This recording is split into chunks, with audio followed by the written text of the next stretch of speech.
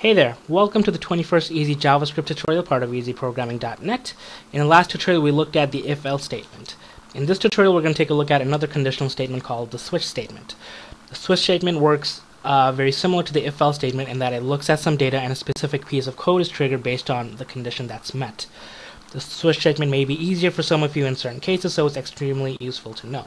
So let's take a look at the structure.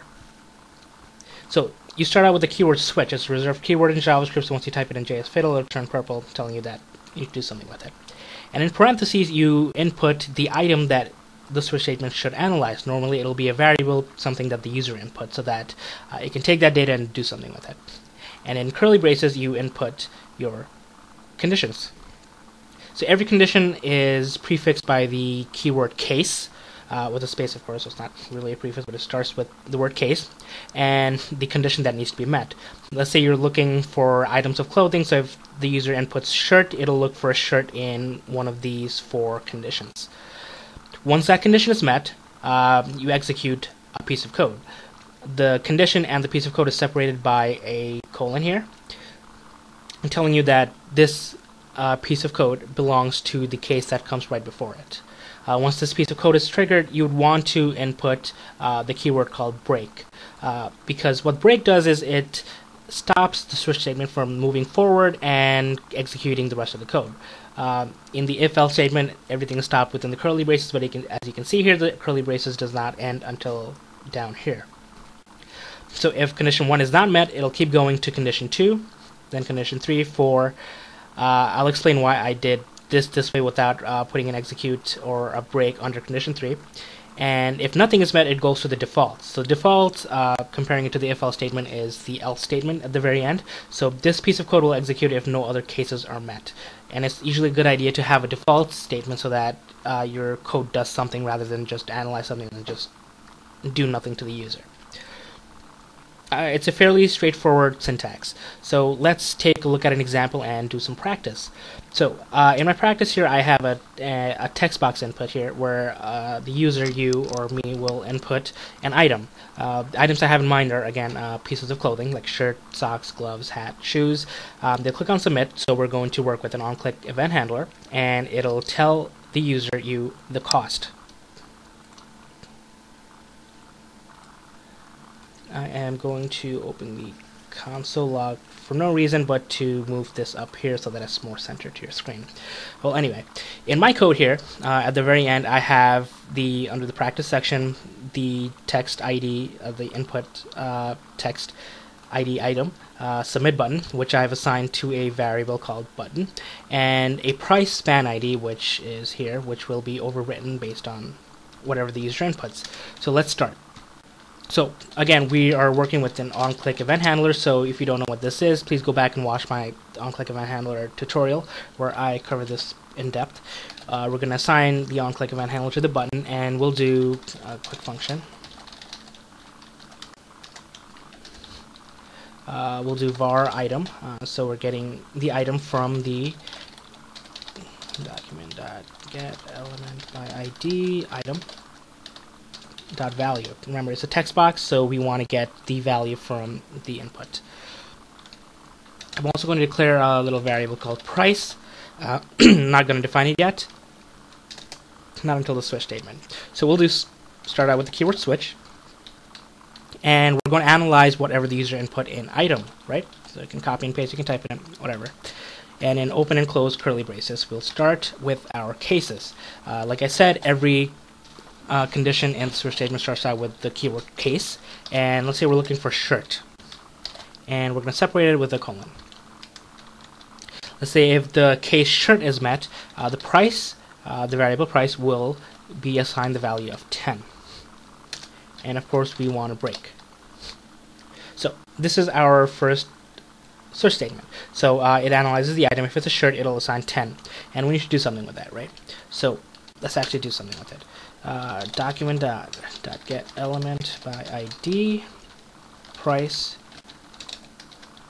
Uh, let's say I'm going to assign the inner text to price here. So uh, once this is analyzed if it's a shirt it'll change the inner text of price here to 10 uh, let me update and run.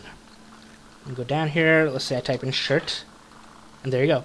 It changes the underline to uh, the blank into a 10 because that's what it's meant. But what if I put in gloves? Undefined. Nothing happens. So we want a default statement. So we want to say could not find an item or something, right? But let's just keep going. Let's practice some of these cases. So we'll do case gloves. Let's enter gloves.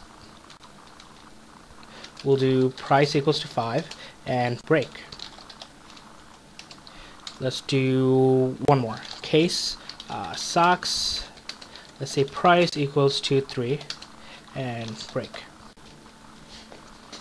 And now we want to tell the, uh, our JavaScript that we need a default case. So if none of these match, we want it to do something. So we'll say default colon again.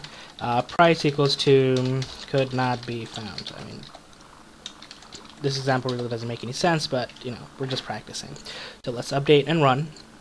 Let's do shirt, right? Let's do gloves, and let's do socks. There you go.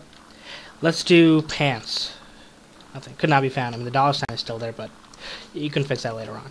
So pants could not be found. So we did our switch statement. We could do all of this in an if else statement, uh, which would be significantly longer, maybe twice the size because of the number of uh, if else statements you need and the different lines you need. But you can also do it in a switch statement. Go back to shirt. Now let's take a look at why break is needed. So if I don't enter a break here, Let's get rid of this. And I input shirt. Let's see what happens. So, run, shirt. It's a 5. Why is that? It should be a 10, right? Okay, so let me explain this. So, once you enter shirt, it assigns the price uh, of 10. Uh, but since there is no break, the switch statement keeps going. Uh, even though the gloves case is not met, the rest of the p uh, the rest of the code still executes. So it sets the value of price to five until it breaks. So if I get rid of this break as well, whoops, go back. Let me get rid of this break as well. Run it. I put in shirt, and it'll turn into three. There you go. And that's because it keeps going until it reaches a break. So we've assigned the value of price three times, and the last one will always win. So we need to do break here and break here. Let me run it one more time, see if it's fixed, and shirt. There we go. Easy, right? Now, always make sure you break. So let's look at why I, in my example here, I did case condition 3 and then case condition 4 right back to back that's again with the break. If I have, let's say, uh, case, what else is there? Like shoelace, right? Shoes. I mean, it doesn't make any sense. Price is not going to be three.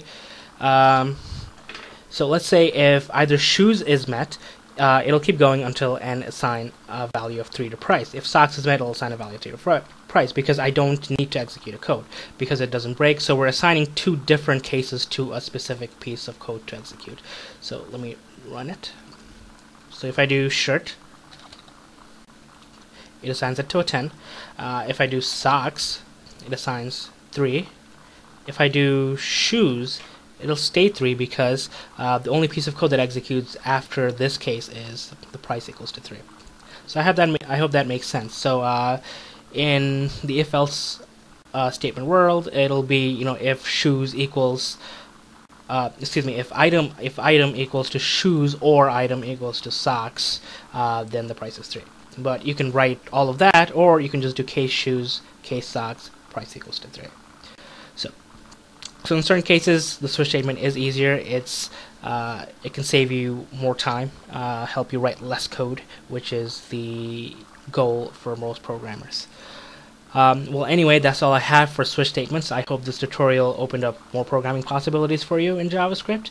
Uh, in the next tutorial, we're going to take a look at uh, one last conditional statement, uh, one last type of condition, uh, conditional program that you can do using the ternary operator. Um, well, thank you for watching. If you have any questions, please ask in the comments below. Uh, be sure to watch my on-click event handler tutorials as well as my if-else statement tutorials as well as the rest of them. And remember to visit easyprogramming.net for more tutorials. Have a good one.